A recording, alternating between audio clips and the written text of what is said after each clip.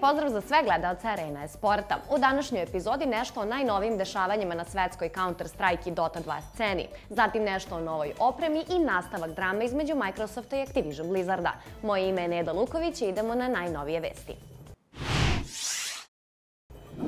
Kako smo u prošloj epizodi rekli da je Jekinder otkupio svoj ugovor od organizacije Outsiders, stavljena je tačka na ovu priču. Ovaj mladi letonac je konačno član Likvida.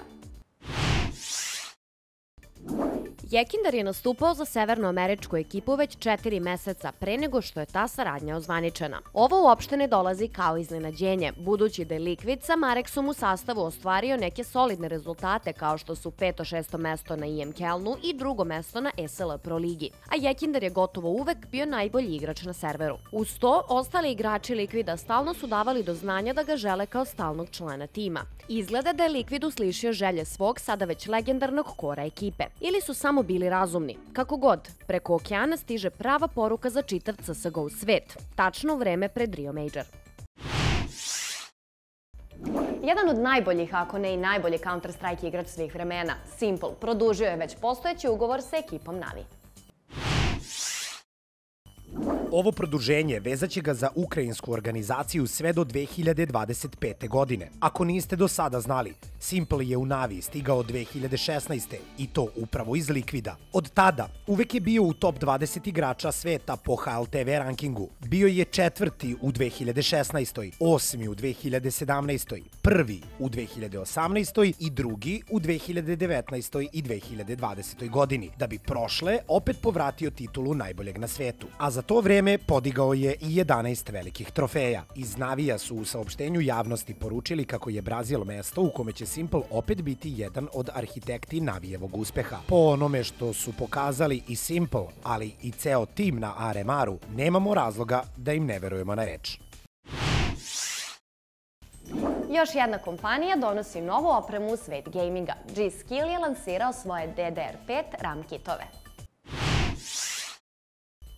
Iako za sada još uvek nova tehnologija za većinu PC korisnika, DDR5 RAM memorija dobija na popularnosti i adaptaciji, pogotovo sada kada su nam predstavljene nove generacije procesora Intela i AMD-a, koje mogu dovesti do njenih punih potencijala. Jedna od najcenjenijih firmi koja se bavi proizvodnjom ove komponente jeste tajvanski G-Skill, koji je nedavno predstavio svoje modele ove nove generacije. Dobit ćemo štapiće brzina 7800, 7600 i 7400 MHz. Poređenja radi, DDR4 RAM je obično radio na samo 3200, 3400 i 3600 MHz. Ono što može da raduje jeste da je cena DDR5 sada manja nego ikad. A sada prelazimo na Dota 2. Jedan od najpoznatijih igrača, Somnus, objavio je kako se povlači sa profesionalne scene. Ovo dolazi iz jednog posta koji je Kinez podelio nakon što je njegov tim RNG ispao sa The Internationala 11. Somnus se profesionalno takmiči od 2013. godine. Branio je boje Vici Gaminga, Elephanta, PSG-a i RNG-a. Osvojio mnoge majore i nekoliko puta bio u top 3 na The Internationalu. Na turnirima zaradio je oko 3,2 miliona dolara. Nakon srceparajućeg poraza posle gejma koji je trajao čak sat i 47 minuta, Somnus je na Weibo mreži podelio sa javnošću kako smatra da mladost i jeste za žali teška osjećanja, ali da je njegova mladost gotova. Zahvalio se svima i odjavio sa Somnus out. Nakon što je telo zaduženo za tržišnu konkurenciju unutar Ujedinjenog kraljevstva donelo odluku za novu fazu istrage Microsoftove kupovine Activision Blizzarda, oglasili su se i iz američkog giganta. U svom odgovoru na ovu odluku, iz Microsofta kažu da cloud gaming predstavlja novu nezrelu tehnologiju i tvrdi da se ona suočava sa brojnim i ozbiljnim izazovima. Uz to, ne misle ni da će ona uskoro postati relevantnija, jer zahteva promenu ponašanja kod potrošača. Sve ovo postaje čudnije kada se setite činjenice da Microsoft ima svoj servis za streamovanje video igara po imenu xCloud, koji su donedavno samo hvalili. Da li je ovo pokušaj da se pridobije sud na kraju istrage ili na Microsoft do sada nije dao kompletnu sliku svega što su uočili, ostaje da vidimo. Senior dizajner američke kompanije Bethesda Softworks premineo je 15. oktobra.